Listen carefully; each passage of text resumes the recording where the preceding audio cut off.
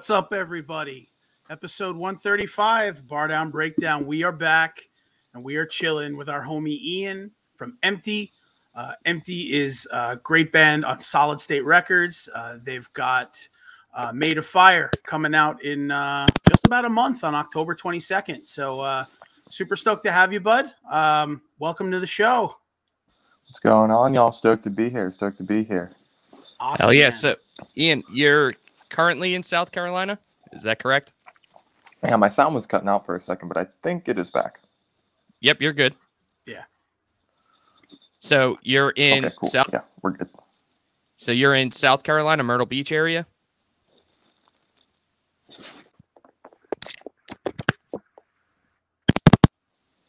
I don't think I'm getting any sound from Mike uh, when he was talking.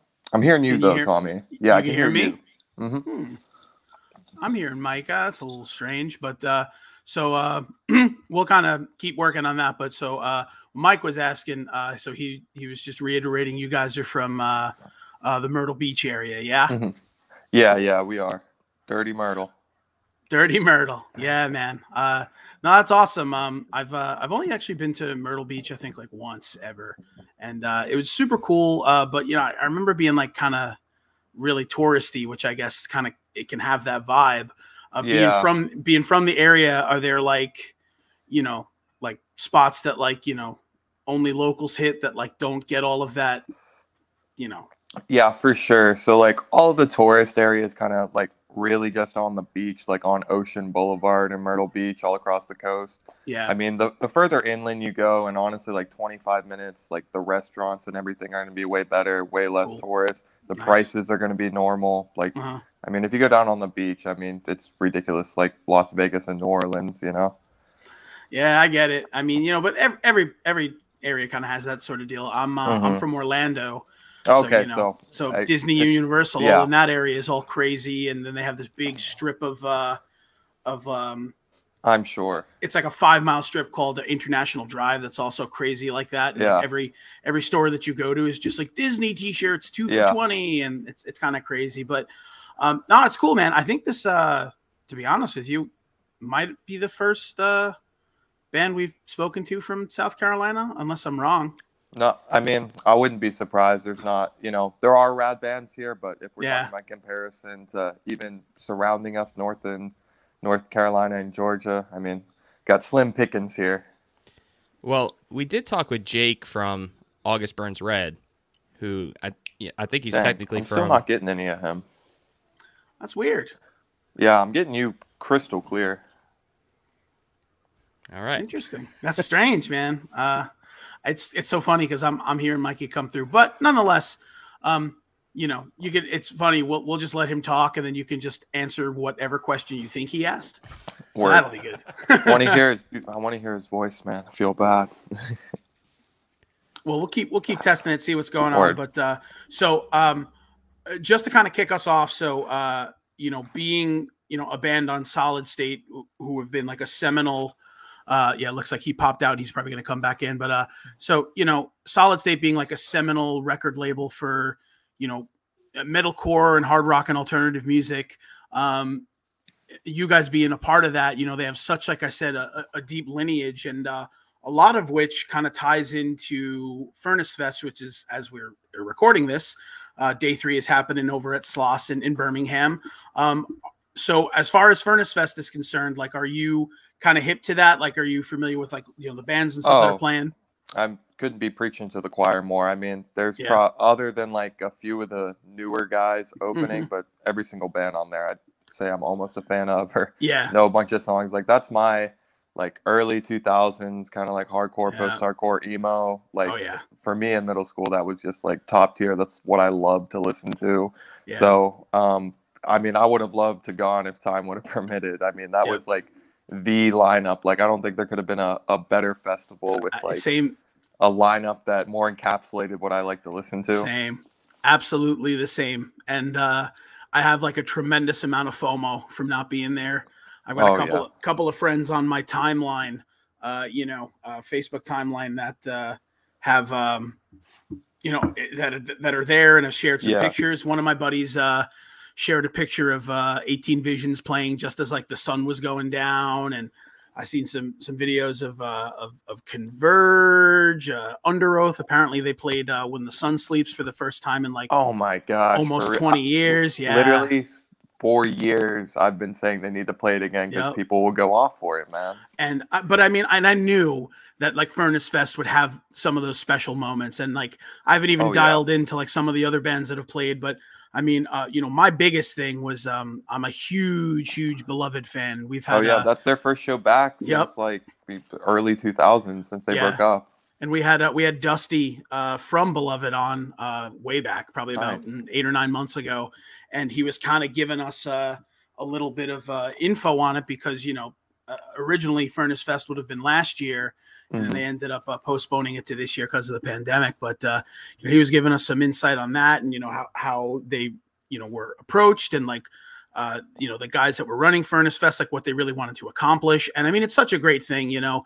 Yeah, Uh, I the- mean Chad Johnson's an awesome guy. I mean, he, Yeah. I mean he speaks for himself with his reputation from Solid State previously, and Yep. then everything he's done after that. absolutely yeah so i mean but uh definitely a great thing i'm, I'm definitely really excited to you know for the videos to kind of start to I saw know, that a lot. where, like, into YouTube, yeah. Oh, and everything.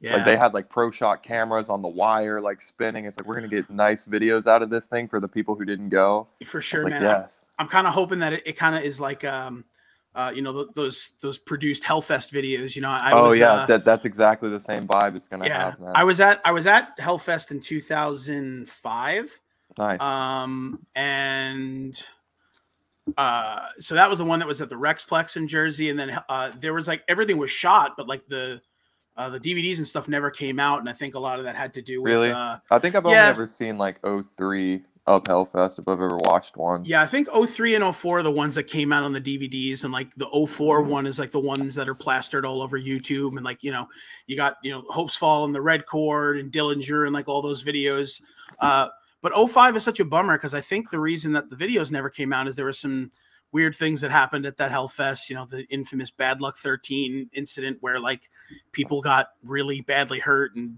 bleachers Oh, got dang. dismantled and yeah it was it was rough but That's like think- the the Woodstock version of Hellfest in the hardcore scene. That's why we couldn't have it no more. exactly but you know you know uh furnace fest you know coming in hot and uh really can't wait to see how, how all that stuff looks so um but yeah just to kind of like dig into that i know i know you said you know there are a lot of bands that played furnace fest that were you know really important to you but like of the bands that played could you pick like one or two that were really i guess important to you musically and creatively that kind of like you know caught you at the right time when you started being a Yeah. musician and creating music yeah Yeah, well, uh, yeah, there's definitely a couple that are like up there compared to the rest. Um, uh, I guess first Underoath. I mean, that band kind of got me into heavier music. Um, Sure, I really yeah. just listened to like punk rock growing up, and hmm I think when I was like 14 or 15, I heard Underoath. I was just like so like obsessed with Aaron Gillespie's drumming at the time, oh yeah. And they really just like broke through for me into like listening to anything with screaming. And I've seen Underoath twice since they've gotten back together. Awesome. Um, because I was I'm only 23, so they were like broken up and done by the time I got into them, and then Yeah, they got back together, which was rad. Mhm. But yeah, uh, Underoath, just huge influential band to me, um, and, and the rest of the dudes in my band. I mean, we all love that band. Um, Mm-hmm. Poison the Well, um, that first record is just one of Yeah. the greatest metalcore albums ever Mhm. um, really good. I know they didn't play um, on like the actual Sloss Furnace, but they played like the pre-show. Norma Jean, yeah like they just they can't do any wrong for like Oh, 20 yeah. plus years. They just keep putting out good albums Great- and have a great stuff, crazy yeah. live show. absolutely Um, As Cities Burn, I know Great they played like um, their first album front to back on Furnace Fest. I think yesterday or the day before. hmm That that thing's perfect front to back. Really like that. yeah Um, Converge, another one. I mean, going strong 20 years. They're, Yep. And their level of quality hasn't like gone down at all. Like nobody's ever seen Agreed. Converge the past 20 years and been like, uh, I think they were better in 01. Nah, they're Yeah. still good as fuck 20 years later. Mhm. yep yep So, um, trying to think anymore. Every time I die, of course um, I think everybody's got to say that. I mean, they kill Yeah. this set every time. every time yep Mm, trying to some newer bands. Give a shout out to uh, Knocked Loose and Varials carrying the new Sure. torch for heavy music. Those bands Absolutely. both rip. They do, yeah. Yep. But yeah, I think I think as far as that, that's probably all of them. I would have liked to see a Chariot reunion, but I guess we'll have to wait longer. I'm sure we'll eventually get one. I I, I got to imagine. I mean, If we can get Beloved back together, we can get Yeah. a Chariot show in For sure, ten and- years. but and you know what the funny thing is, um, you know, 68 is just like constantly picking up steam, man. I mean, they And just uh, every time I've seen them, it's like mhm. it's a spiritual experience. Like 68 are cra- like Josh Scogin like has rock and roll like in his DNA. Like no Oh, matter yeah. what he does, for it's sure. like man, this guy, this dude's just a rock star, man. Like whatever he, is. does. and uh, they just got uh, you know they just announced uh, you know every time I die is doing a uh, you know a full US and, and they're on it with uh with that band Candy who are actually great too if you've had an opportunity to, to check them out. I am gonna be on tour during that tour, and I'm very upset because every time I die, 68, and I have seen Candy before with Knock Yeah. And they're awesome. Mhm. Yep.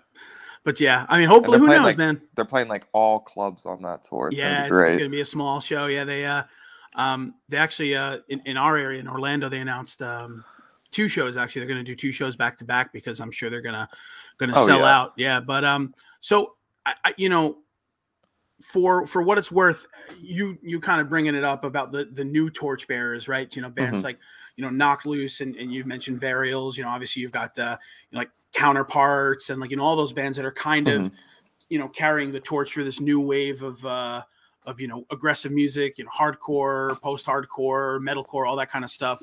Um, so it, it's interesting to get to talk to you guys because you guys have a lot of those influences, but you guys kind of also call back to like that early 2000s kind of like alternative and uh, i'm hearing some of that in uh, you know your your first record and even the single that you've put out so um, as far as you know jumping from uh, you know the, the the first record now to um, you know hoping the loss of it being the first one made a fire now what like what kind of changes were you trying to cultivate in the band moving forward to kind of expand your palette essentially?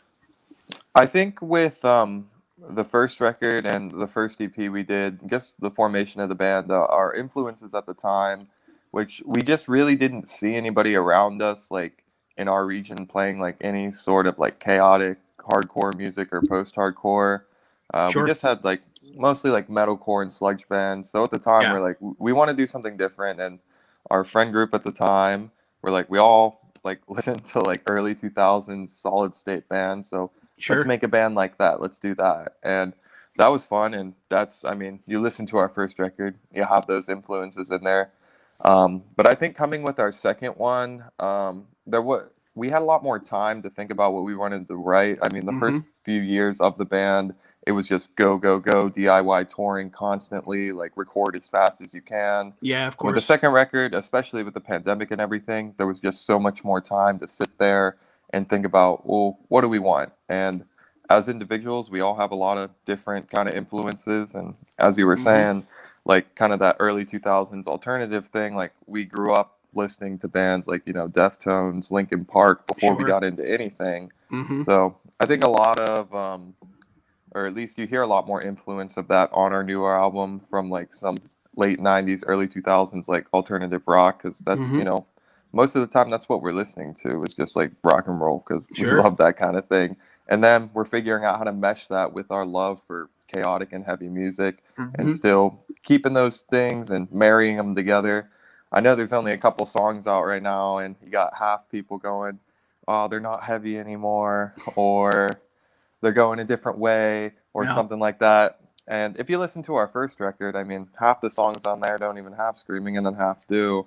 Yep. So it's like you just got to dive in. And I think our new album has like a really good relationship of having its soft and heavy moments. I mean, we have our softest moment on this album, Mhm. and we also have our heaviest moment we've ever done on this album. awesome yeah and and i think you know the whole um the whole kind of um you know I, I- I don't know what to call it but i guess for lack of a better term i'll, I'll call it the whole bullshit of like you know are like artists changing and adapting and evolving and growing up essentially Mhm. and, and changing what you write and you know fans having problems with it i mean like that like it's kind of like passe. Like you know, I, I I kind of understood it, or I shouldn't say understood it, but like I I the the pushback, you know, like when I was younger, I guess like came with the fact that I was younger, right? You know, if I was in my Mhm. early 20s, I didn't really put two and two together. I wanted to hear the same record eight times and you know, but nowadays, I mean like look at like just just to just for some bands just just to point them out, right? So let, let's look at Deafheaven, right?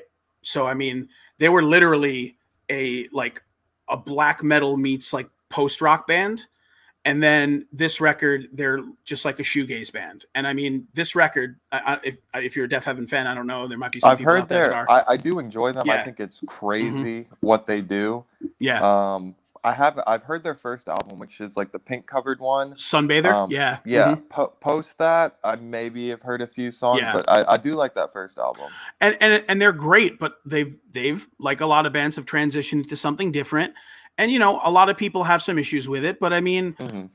you know at the same time you, you, You, kinda, still have that record to listen to, you know. yeah I mean, exactly and it's like it's not going away right yeah If you want to listen to like what you dug about us before, we have over an hour worth of music for you to Yep. check out. exactly but you know to just you know to think like uh, you know a band like like even the deftones like you know they changed with with every record you know Yeah. and it's like you could sit there and be like oh you know minerva you know and then the self-titled record i mean it's not around the fur it's not this and Yeah. it's like yeah but like you can't expect you know alternative musicians to create the same thing and, and really you can't expect that of anyone even pop musicians Yeah, I mean, it's you just can't. It's, it's an art. I mean, some people are there to maybe keep making the same thing or please the audience, but Mhm. to me, at least when you go to a concert, um, and that's how most music I think should be viewed. You should go check it out live and really get down to what it's about. Absolutely. You're watching these artists perform their art in front of you, or you're listening to them yeah perform their art, and it might not be what you initially fell in love with, hmm but I mean that's them showing their art, and you don't have to enjoy it. And Mhm. I mean, there's no reason to really go against it. I mean, um, like I said, Underoath is a really big influence of mine. Sure. Um, I wasn't crazy about the album they came back with, um, but I feel like they really enjoyed making it, and there's obviously a lot of people who like it out there. hmm But I mean, people got to grow and change, and I think for them that was a move. They were like, we don't want to make the same record again, and Yeah. they took the risk, and I think for them it paid off for them. and and um you know i whenever we talk about Underoath it's just um it's always funny to me to talk about um their you know how they were perceived in the in the you know the early 2000s as a uh you know as a christian hardcore band you know Mhm. Which- Every band on Solid State. Every band on solid state and the other thing about that is like and you can kind of think about if it's debatable to begin with i mean like you know it's almost like a band mentions something that is you know that's religious and all of a sudden you get pegged as a religious band right so for Mhm. Underoath you know on their only chasing safety you know you know jesus i'm ready to come home. And all of a sudden like okay know, these guys are you know there's Yeah. nothing secular about them but like in reality it's like you know i don't really know.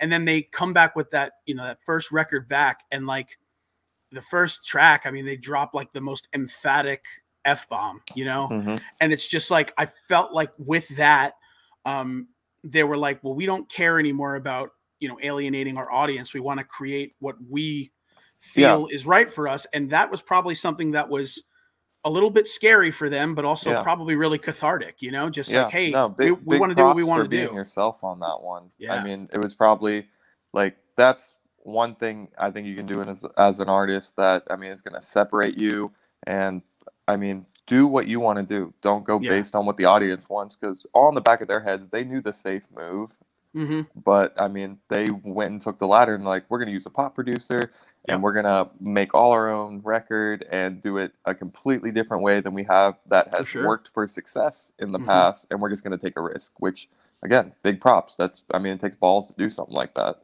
no you're, you're absolutely right let's uh let's let's try this let's see if mikey works now Can I you can- hear me now? yes No.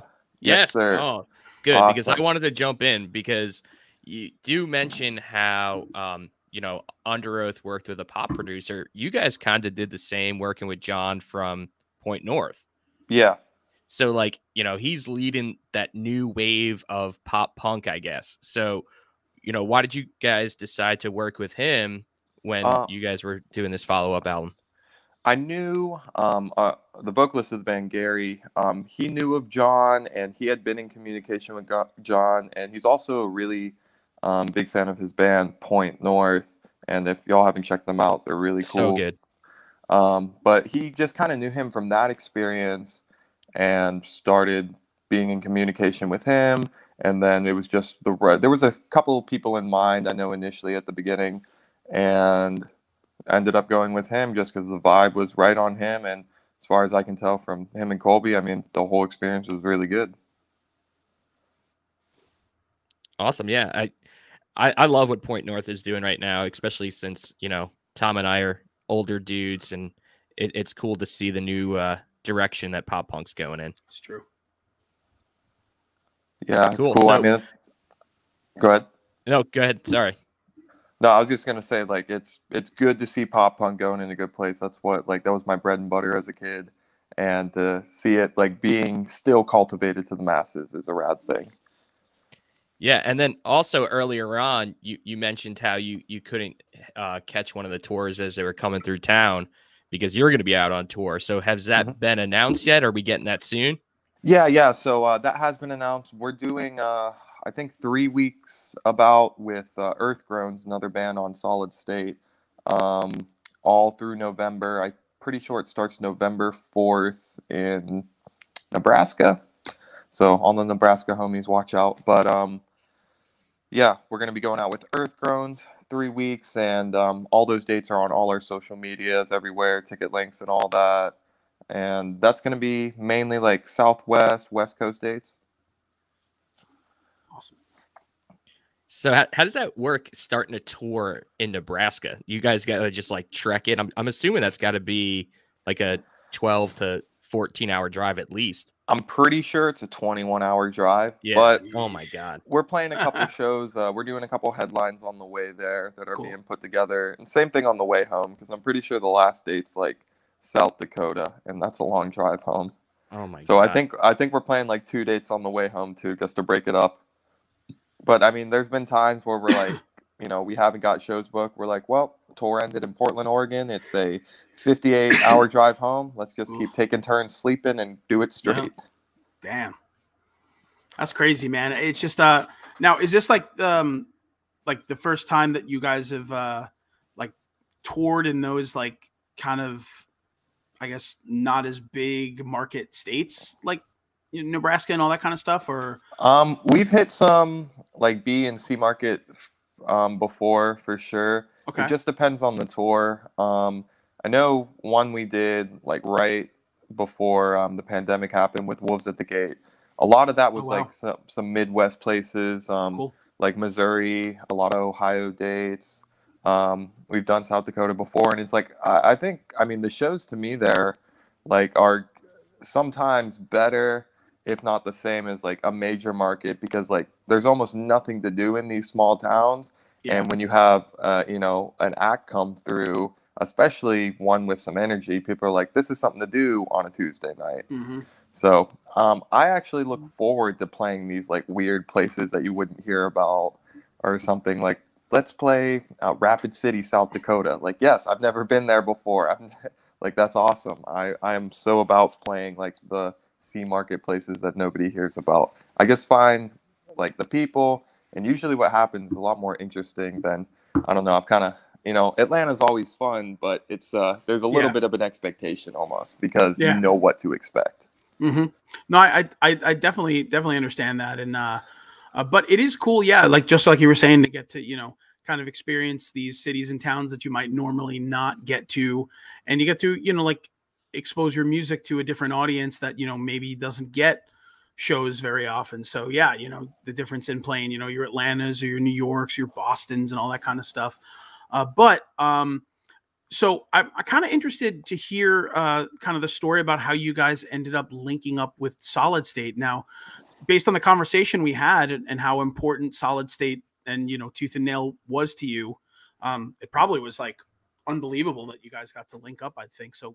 Uh, share a Oh, little yeah. bit of that story, yeah, please. So um, when we started the band, like I said, we were all really big fans of other bands on the label. Um, Mhm. Me and the vocalist, uh, we grew up Christian, um, so that was just like you know we had already been listening to a lot of those bands based on that.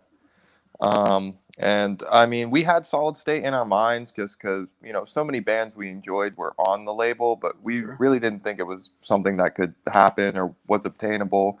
We're just like, this is in the back of our heads. Like, if at one point we get big enough to like ask a label or send a label something, eventually we'll go with Mhm. Solid State. Just that that was our first pick from the beginning. Um, Mhm. So we just honestly kind of forgot about it, and we were just touring our asses off DIY, Sure. just eating the dollar menu every night. I mean, we're still eating the dollar menu every night, but now we have a trailer. That's the only difference. There you go. So we have more room to sleep. More room to sleep. There you go. but um, yeah, we uh, we were just touring a lot. We ended up uh, striking up a tour with Death Therapy, which is um, Jason Wisdom from like Becoming the Archetype, his other band, and they're on Solid State. And um, we did like a week with them, and that gave us grounds to. Um, uh, I was literally just a madman. I would send like a thousand emails a day just asking to tour with bands Mhm. and you know you get um, 999 no's and somebody said yes. Yeah. and uh, one of those emails was Despika Wolves who are another band on Solid State. And we were able to tour with them because of us touring with Death Therapy. And after that tour I guess that kind of put us on Solid State's radar. Um, Okay. like I said we never hit them up or anything. Um, I guess they checked us out. We had like an EP and a music video out. And um, they hit us up and talked to them for a couple days and they just offered us a deal. Um, i mean like i said we are on the road a lot so i mean that may have been appealing to them a band that wanted to get out there and do it and that's all we wanted to do. We just wanted to have somebody behind us who wanted to work with us and Sure. we wanted to be out as much as we could.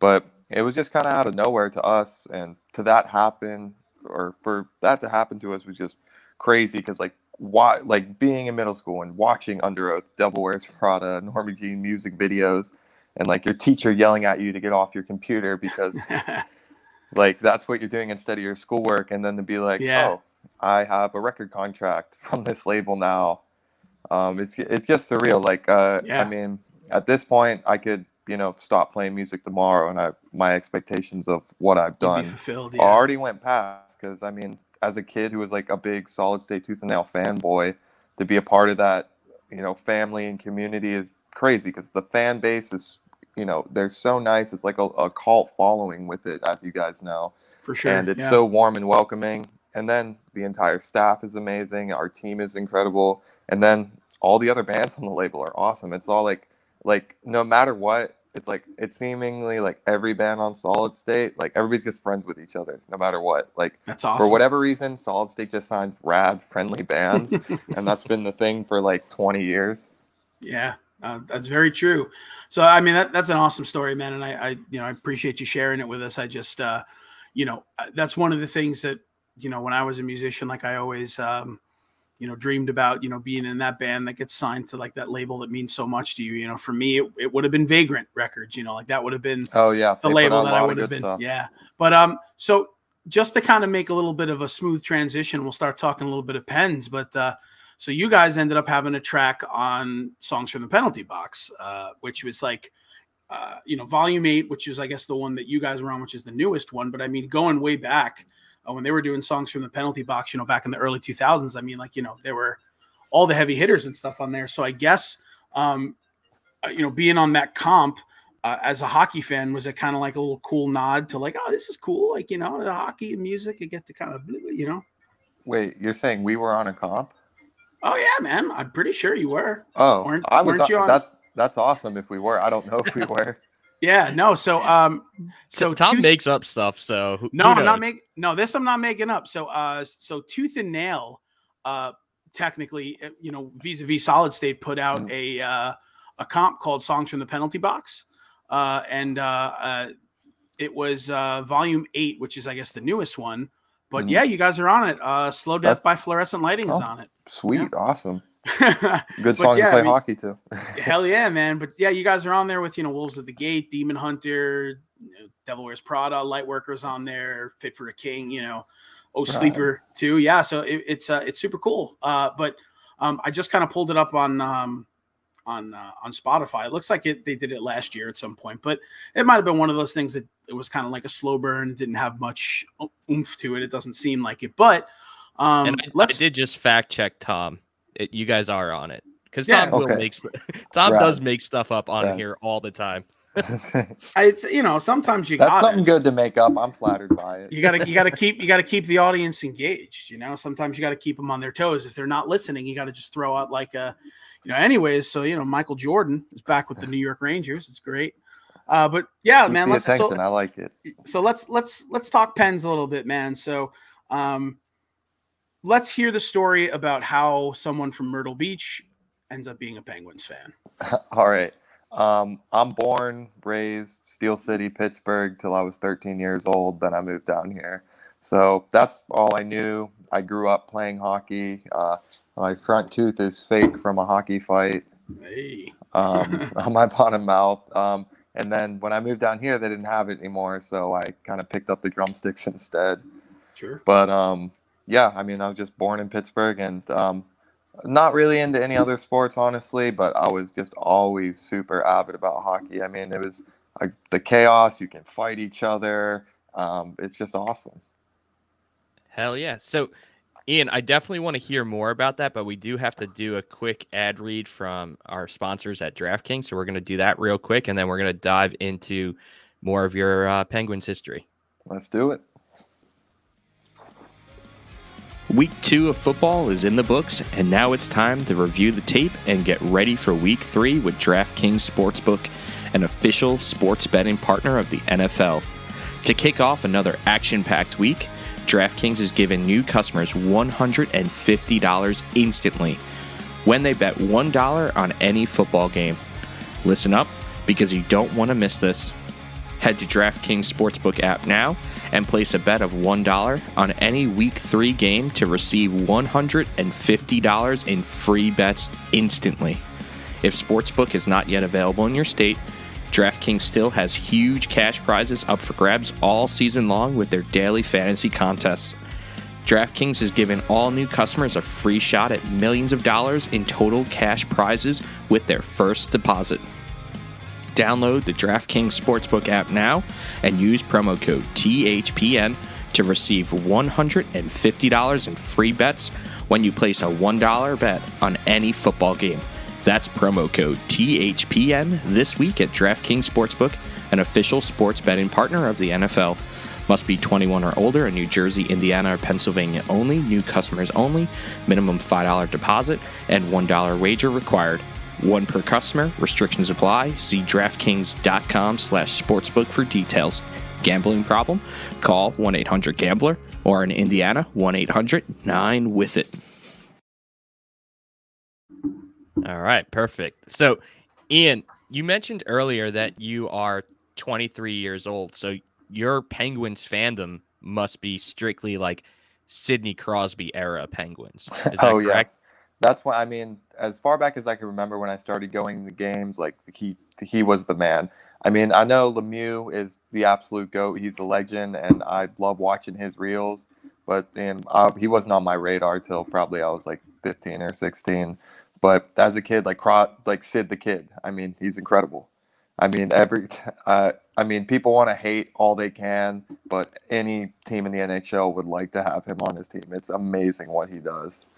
Yeah, and he really like saved the franchise because you know the NHL was going into its lockout in like 2004, 2005. The Penguins were at the bottom of of the league. They weren't doing so great. Mm-hmm. And I'm pretty sure that like there were still arena questions and if I'm wrong and I, I might just be like missing a few years here or there, but I vividly remember once they drafted Sidney Crosby, like season ticket membership went through the roof. And I remember like NBC or one of the main networks showing like Sidney Crosby actually going around in the city of Pittsburgh hand delivering season tickets to their fans.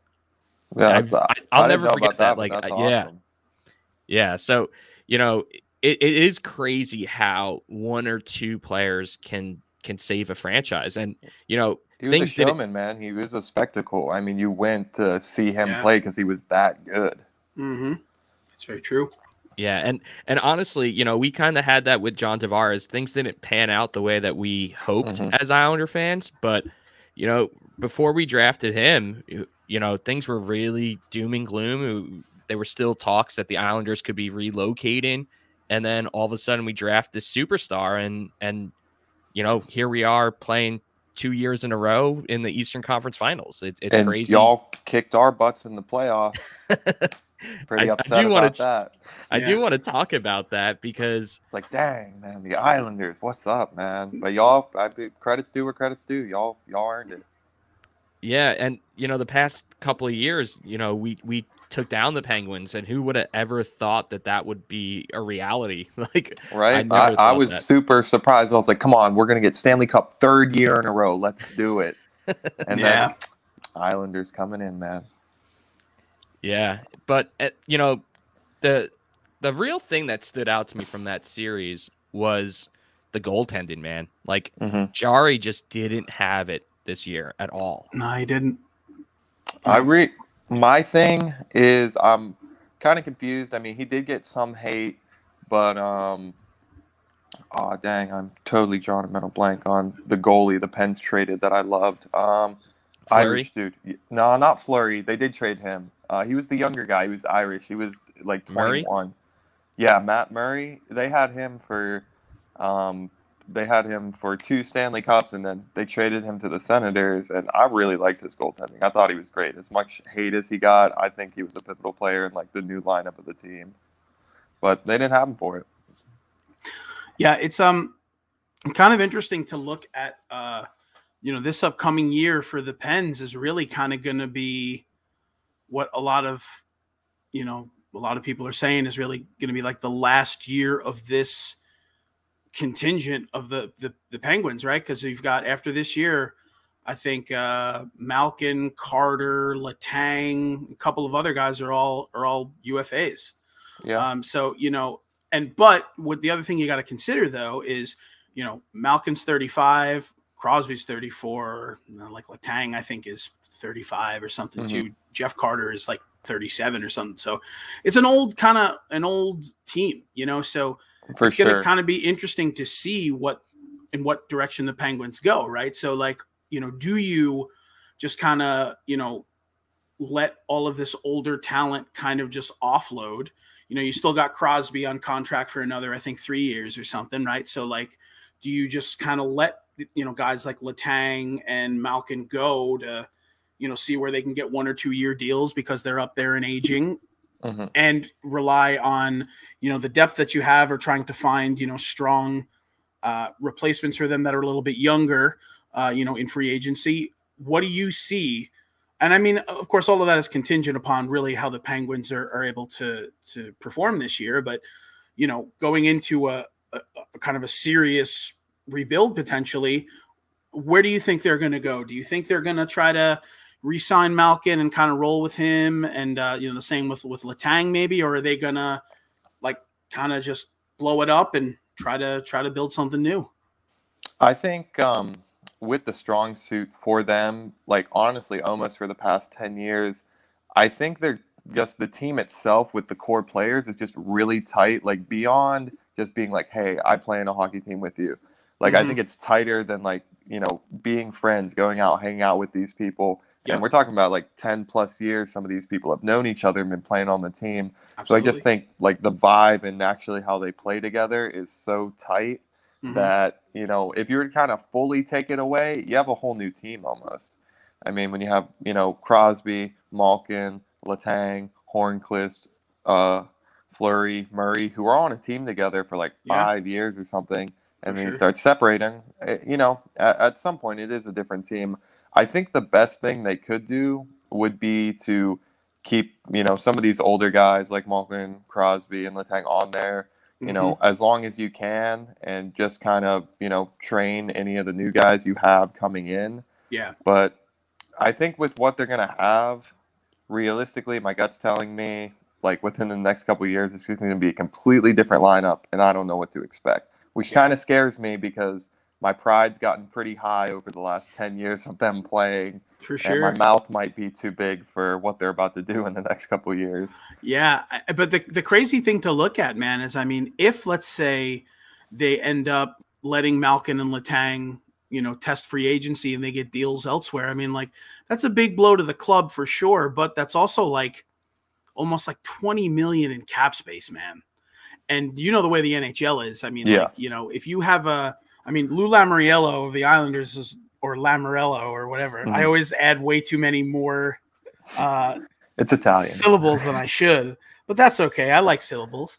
Uh, but um, but Lou as a GM is one of those GMs who Mhm. you know can take 10 million cap space and stretch it, right? So you know having 20 million available, you know, if just you're just in that much letting two guys go, and I'm sure it's not 20 months, maybe like 19 or something, but even Mhm. at that, the amount that you could do with that, and you know, the Penguins still, I mean, you know, without Malkin and Letang, I mean, like I said, you're still playing with Sidney Crosby, who is undoubtedly, no matter what you want to say about him in terms of like who he is as a player, He's like a Tom Brady of hockey. I yeah, mean, he's, still like one of the best really hockey good. players. So you know, you might be able to entice some people to to come over there. You know, And and don't sleep on Rust, man. I, I feel like Rust is an underrated superstar in the NHL Mhm. right now. Yeah. hmm and yeah, I mean, and, and and you know, they've got you know, uh, what's his name, um, Guentzel, right, and Oh, here's where Kapanen Tom's gonna just make up people on the Penguins roster. No, I mean, like just I get words got- with a lot of syllables that Yeah. aren't vowels. Those I think I got. I think I got at least two of them right because I, know for a fact that Guentzel and Kapanen are on the team, Mhm. and you said Rust, and that reminded me that Rust is on the team. But other than that, I couldn't tell you. But I know that they're you know like they're under thirty guys who are going to be essentially who the team is probably built around. Mhm. Um, but uh, yeah, it's you know the Tristan Jarry thing. I mean, uh, you know he had a little bit of a rough postseason. It's going to be interesting to see how he bounces back. But um, Well, some some let of their games are weird. I mean, it's like when they like almost like in like even some of the preseason stuff. It's like, what are you guys doing? And then they'll go on an eight game win streak and just be insane. yep. So yep. it's really it's almost like a timing thing. I felt like that when we were you know playing y'all in the playoffs a couple years ago. I'm like, we have been wiping the floor for months. And then we get in this with the Islanders, and but you know we we're the ones who got the floor wiped with. yep. Yep. Yeah, and I just wanted to comment. Like we mentioned, how Jarry wasn't wasn't the the best player in those playoffs, but like Tanev stood out to me as being like a physical force that really like got into the Islanders' heads, and then Mhm. he just got scooped up by Seattle in the expansion draft. Like I feel like that is an you know a, a blow to the team that maybe people don't realize is is as important as he was. a lot of the trading and drafts that have happened the last like I haven't honestly been happy with any of it like the last two or three years on it. Uh, I guess a lot of the decisions like you know I, maybe it's monetary based or something like that or even the player or you know another team just has more budget to get that because they saw the talent in them. But I'm just like dang these are not good moves. Yeah. Yeah. And And, and, wait, I just want to just ask: Did you see Tanev's um, Seattle Kraken team photo yet? oh my No, I God, have so not. I have funny. not. So like, yeah, his- po- post him leaving the Pens, I really haven't kept up. yeah, so like he, he's known as like having this really amazing Pittsburgh Penguins like roster photo where he's just like like just like like he saw a ghost yeah. And he recreated it with Seattle. So Oh, that's great. I'll have to check that out. For oh, it's so funny. Yeah, so he's just like I'm It's here like- for it, man. Don't take it's it all so too serious. it's so wild, man. It really is. But but you know, um, Se- Seattle's going to be one of those teams. I guess let's you know, I, I, we can- we can kind of chat about them a little bit just because we brought them up. Uh, but you know, I, I don't know if you had the is- opportunity. that's where Solid State is, right? Yeah, yeah, they're based out of Seattle. yeah, they're based out of Seattle. So uh, yeah. are those dudes pumped about getting a team? Have you brought that Um, up? I don't think I've talked to anybody at Solid State about hockey. I mean, uh, our A and R lives in Colorado, and he's like our point of contact. hmm And um, don't think he's too into hockey. But I'm gonna have to next time we're I, we'll be in Seattle and uh, Washington. We'll probably stop by like the Tooth and Nail place. I need to ask those guys. Be like, Well, and Yeah. also ask guys them like, like, hockey? They must if they put out a comp that's called songs from the penalty box and like it's a hockey Yeah. themed comp. So there's got to be someone that is a hockey fan there. Yeah, it's got someone who's not telling me about it. Yeah, right. yeah, right. that's, that's it's, it's such a bummer. And you know, it's funny. We um, I think we tried to reach out to uh, Solid State um to try to talk to them about seeing if like someone was uh, a hockey fan on their crew, and we you know we didn't get a, a response back from them. You know, nothing, no no shade or anything. I get it. Mhm. You know, sometimes it happens, but. Um, you know, if you're out there and uh, you know you get that response, just you know send us a message and be like, "This is the guy." You know, this is the guy Yeah. that you need to reach out to. There's on the somebody in there who is an avid hockey There fan. I'll figure it out. is. and and but it's cool though because uh you know the pacific northwest um just you know getting another hockey team is great you know because Mhm. uh, you know vancouver is just a you know a big hockey town evidenced by like you know i, I remember very vividly uh when they covered the rangers winning the cup they also covered like the entire city of vancouver just like burning it to the ground. Yeah. you know so like I, I remember that very vividly uh, but there's a lot of passion over there so i'm hoping that that kind of passion echoes in seattle.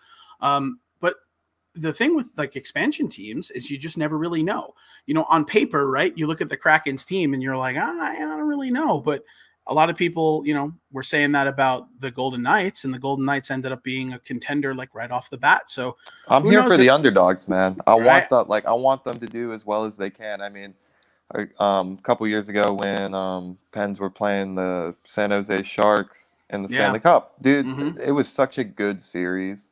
it like was. I mean, and I was not expecting that from them, and they made me a, a fan of the team after that. I was like, y'all played hockey Mhm. fantastic the entire series, and it it made it so much more interesting. I don't want to see just one team dominating another. I want to Exactly. see a good game of hockey. And I think that's why a lot of like hockey purists either love or hate the Islanders, right? Because um, people that love the game of hockey, even if they're not Islander fans, will appreciate the Islanders because they are really just that. They're a, a group of of you know really non superstars that play like a very specific game of hockey. It's very chippy. It's very defense oriented. Um, but you see like little flashes of you know, real greatness on that team but like you know if you're a hockey fan that really likes like flash and like all that kind of superstar kind of stuff you're not going to get it really with the islanders other than Mhm. matt barzal but um you know at, the same time i think that uh, the islanders are a lot of fun to watch even if you're not an islander fan just because of the kind of hockey they play and that was ev- evidenced in this past postseason you know watching them play uh, you know Tampa Bay and taking Tampa Bay pretty much to the limit, as good of a team as they are. So uh, it's always super cool. And you know the, the Penguins, I think, have the capability to you know kind of eventually get away from the whole like you know Crosby as the linchpin and start to develop a team that's more you know I think they have. of I think solidly as a team, the Penguins can be there because we're talking about within the next five years, Crosby's not going to be there anymore. yep We're just for sure. realistic. Um, I think the potential is there, certainly, especially like under the right leadership as those guys bringing these guys up in the next couple years. Mhm. Um, that's what I'd like to see, honestly, because it does get annoying when you're a Pens fan and you're like, "Oh, I'm a Pens fan," and then immediately the shit talk about Crosby and Malkin starts. yeah, of course. And so it'd be nice to for them to be able to carry themselves without those guys and you know still be a force to be reckoned with. So uh, it's pretty. I mean, it's it's all but apparent. You know that once Crosby decides to, you know, hang the skates up, eighty-seven is going up into the rafters. Oh, Uh, absolutely. Do we think? uh Do we think Malkin gets up there as well? Um, I think there's a chance. Um, I would personally. I mean, talking to a boy from Pittsburgh, so I'm biased to saying yeah, he is going to be Mhm. up there. But I mean, I think you throw his name out to anybody who watches hockey, they don't know who he is. Yeah. I mean, I think maybe maybe past that, your casual fan might not know the individuals like that. But you know, I think he's right behind Crosby when you're gonna, you know, at least in modern day, gonna mention a Penguin. hmm For What sure. do you What do you think, Mikey? I'm just kind of interested in, in what your your take on that would be. I don't know how it is in, in Pittsburgh. Like I, I don't know how many numbers are up in the rafters. I think that will determine it. Because like if you think about the Islanders and and who's up in the roster in, the rafters, like it's pretty much the the the four, you know, the guys that were there for all four For Stanley Cups. Cups. Yep. Yeah. Mhm. So like, you know, if you're if you're talking that way, like Crosby and Malkin were there together for those Penguins Cups. So like, yeah. Sure. you know, and they were huge parts of it. So I I could see him getting up there as well for sure. Yeah, and and that kind of you know that, that leads to that discussion, which we'll have another day of like who the next Islander to go up there is. You know, a lot of people are saying it could be Josh Bailey. I, would love it, but we will see. So, um, all right. So, just um, kind of ex- expounding upon um, what your expectations for this season are. Um, you know, as far as you know, some of the younger guys, you know, the, the older guys. Um, of course, you're looking to see a cup get raised because that's what every hockey fan wants. But like, what are your expectations of this season? Do you think that um, you know the front office is going to try to go out and, and you know get some some extra parts, or do you think there's a trade that could be happening? What do you think the Penguins need to to really be contenders this year? honestly, I think like I think they're gonna have a solid season. I'm all at least in the last five years. I've been happy watching them every time. And then Mm-hmm. when playoff time comes around, they either go straight through it or you know completely blow it. But honestly, I think the biggest thing for them this year is like whoever can be their most solid goalie. Because after I've just had goalie issues with them, even like with you know Matt Murray at certain times, and then post who they're putting in. Um, they just need to have their goalie super solid, and they just really work on offense and get that to the biggest thing that they can. Um, one thing that I've been disappointed watching in the last few years is I just I feel like the whole team aspect of working on their offense, like it could just be a lot more. It could be more better than what I saw at like say 2017, 2018 and that could be due to you know they are drafting and taking people away and the lineups being changed but just i felt like what has worked for them in the past 10 years has been that team mentality of like it being stronger than just playing on a team with somebody and really knowing those guys but i mean we'll see. I think they're going to have a solid season but um you know who can tell? Um hopefully just in the playoffs they're able to hold it together. But if we verse the capitals you know that's kind of like our strongest suit every time we're going into the playoffs. It's like that's who gives us the most trouble for sure.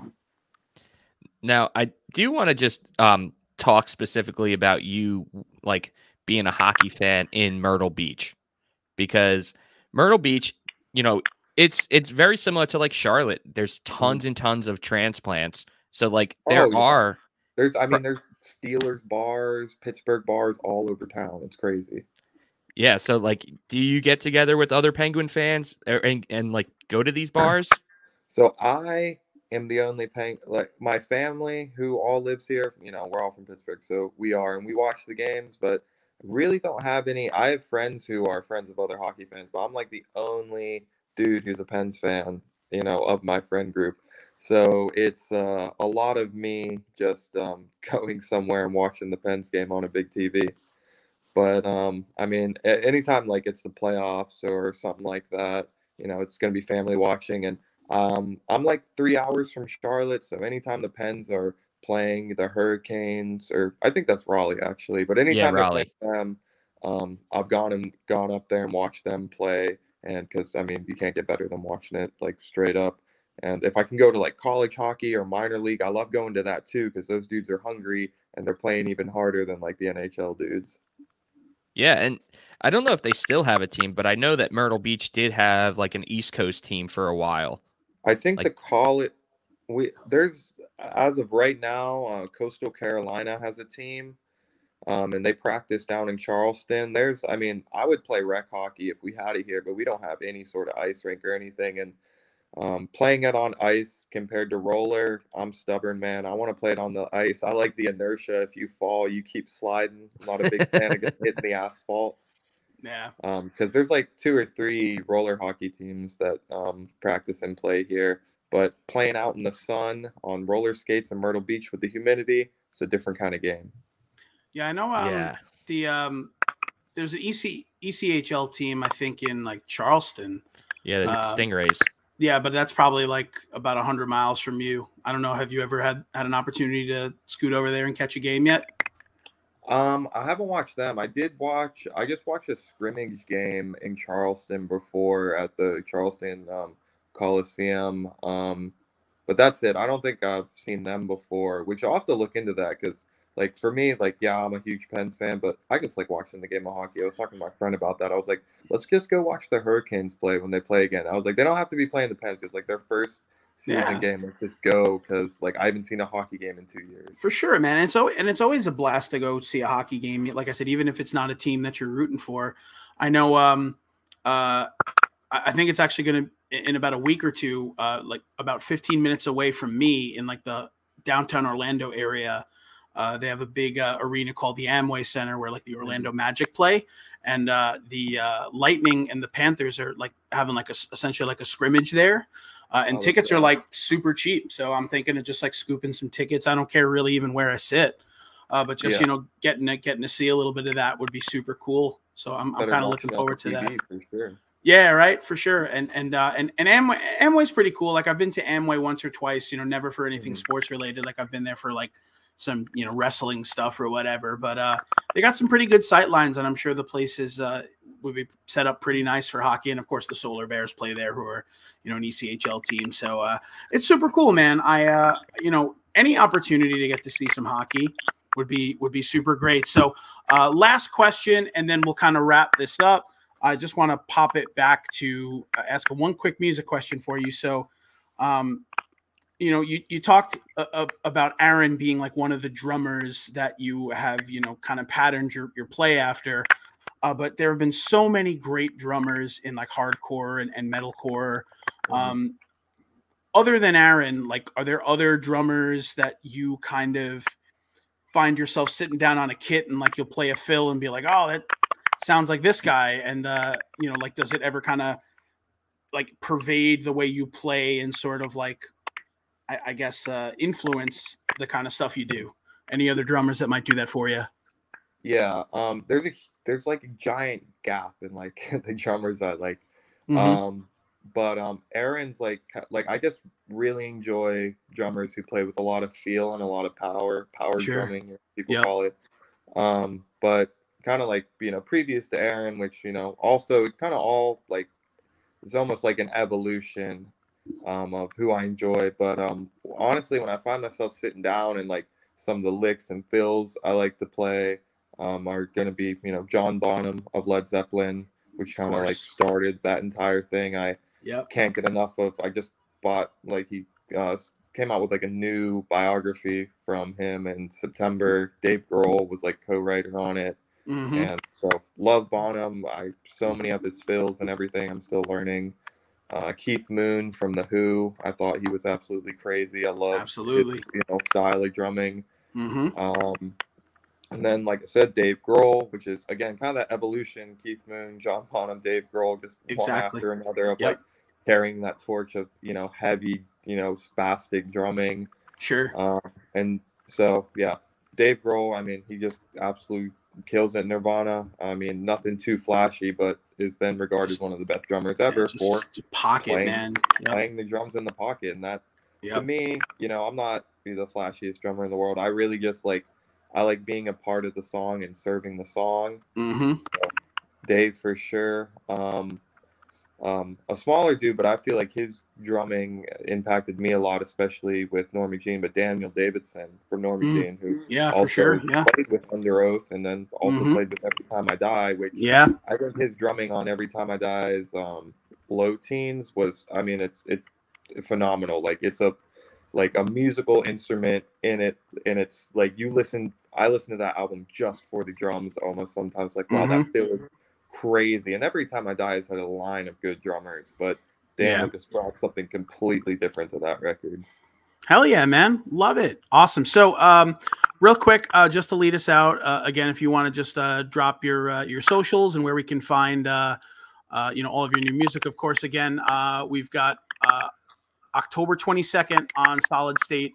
Uh, Made of Fire will come out, but yeah, just drop some uh, socials and then we'll uh, introduce everyone to uh, the sweet video you got. Rad. Um, my social is Ian underscore Moran. It's not moron, even though that's what all my substitute teachers say growing up, but is Ian underscore Moran. Our band uh, socials for anything is just empty is a band. Um, that's all you got to type in. If you type in empty, a lot of other stuff is going to come up. But empty is a band is all our socials. All of our music is on Spotify, Apple Music, everything you listen to music on. Uh, we don't have it on cassette yet, sorry, but we'll get it on cassette soon. But anything you listen to music on, Empty is a band. Made of Fire is our new record coming out. We got two new singles off that right now. Close My Eyes and Temporary High. They're live right now. But, Awesome. yeah, pretty much it. We'll be on tour in November. Come check us out. Got tour dates listed online. Hell yeah, man. Ian, thank you so much for taking the time to be on here with us. Thanks for chatting Pens hockey, all things empty. And then uh, we will just lead it right out. So uh, we're going to show you guys the video for uh, Temporary High uh, again on uh, Made of Fire, which will be coming out uh, October 22nd on Solid State Records. So enjoy the video. And Ian, we'll catch you catch you again on the flippity flop. Yep. Thanks, on Ian. Flippity flip. Have a good one, y'all. Peace. Take care, man. Peace.